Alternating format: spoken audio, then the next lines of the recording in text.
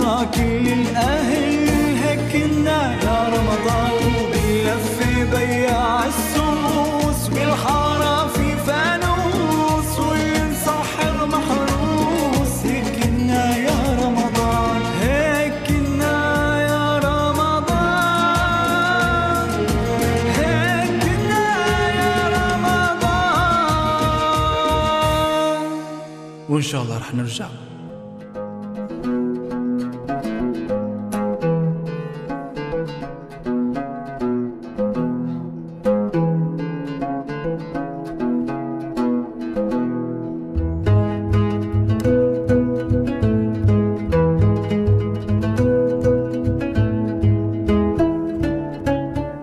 قبل ساعات من فطور رمضان وبالعجقة يلي كان يعملها أبي بالمطبخ وحالة الإشراف على أدق التفاصيل للتحضير لمائدة الإفطار.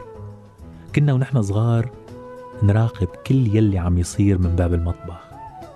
وكانت أمي تقول له لأبي لك يا زلمة عميت على قلبي اتركني أعرف إشتغل. هذا الموشح كان يومي. وكنت بعرف إنه أبي كان يفوت على المطبخ ليقتل الوقت ويمرق الزمن للوقت يلي بده يضرب فيه المدفع. كان أبي ما بيحب شي يكون ناقص أبدا على مائدة الإفطار اليومية ومن ضمنها صحن الفول.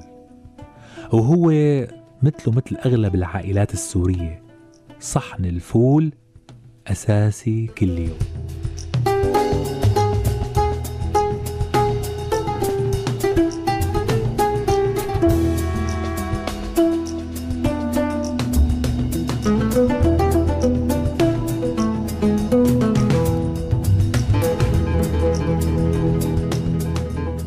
بتذكر إنه كنا نسمع أبو أحمد الفوال وهو عم ينادي وتعطينا امنا الوعة وبقلب المصاري اللي عنده.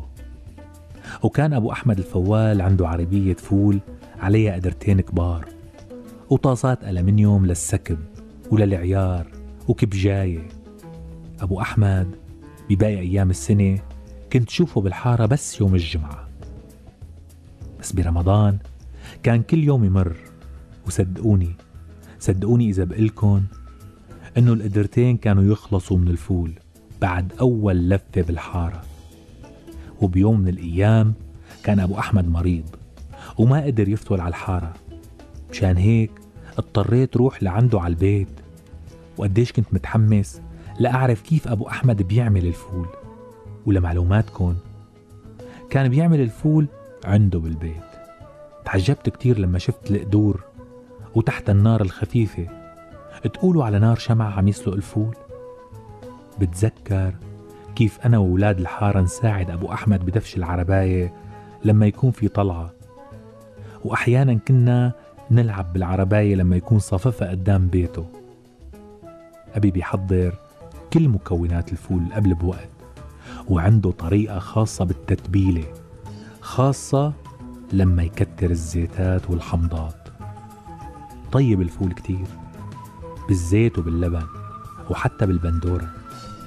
هيك كانت عرباية الفول برمضان وهيك كان أبي بعجقته بالمطبخ برمضان كمان.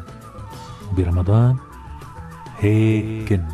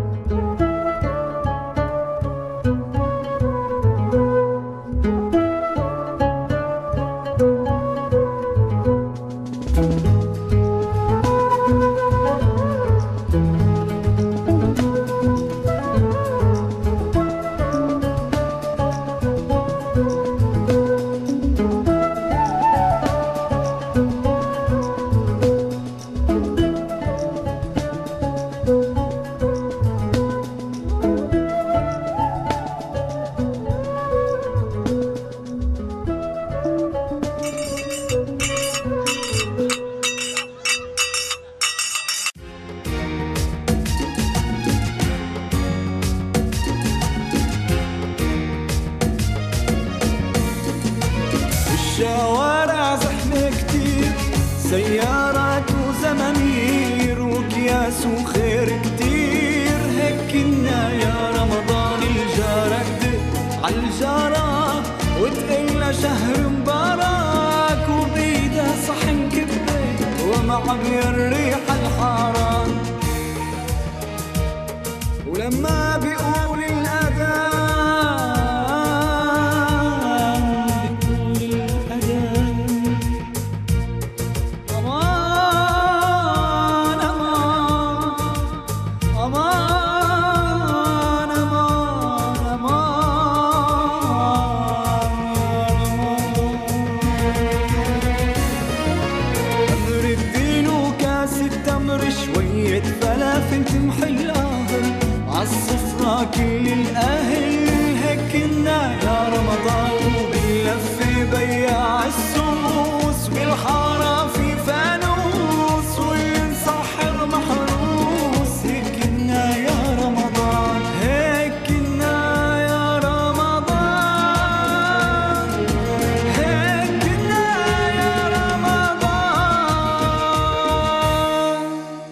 شاء الله رح نرجع.